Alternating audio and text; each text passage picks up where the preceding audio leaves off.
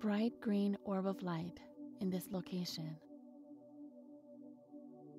Your heart's powerhouse. This is where all your vitality resides. You take a deep inhale and feel the relax into its affection as you take a deep breath and exhale. You're aware that it's complete, healthy, and secure, and you experience a great sense of gratitude for your support. As your consciousness rises to the heart chakra, you see a void in the center of your throat. This bright ball of sky blue light right here is nothing short of spectacular. You inhale new life into the environment. Then exhale into a state of calm, allowing this energy to flow freely through you. Bright, dazzling, and pure at its core.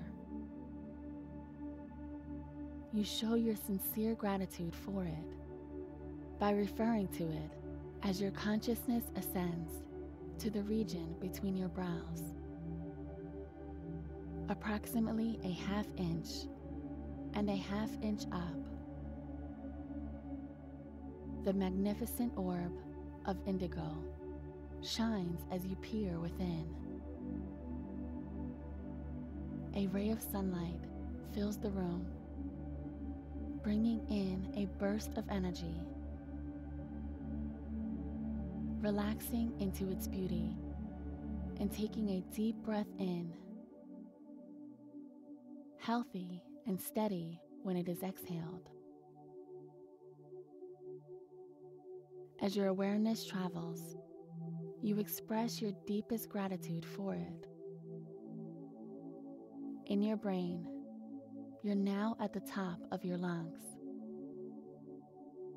Your crown chakra is located in this area. When I first saw it, I thought of it as a glowing violet orb. You get the impression that it's complete, healthy, dazzling, and unadulterated. Imagine sending it to someone who is very grateful for you the crown of your head emitting a stream of light. Incorporate your third eye into your throat, solar plexus, and sacral chakras.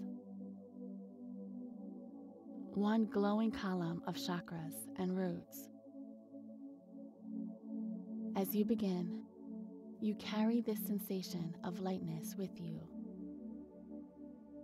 Wiggle your fingers and toes and roll your shoulders are some of the best ways to loosen up.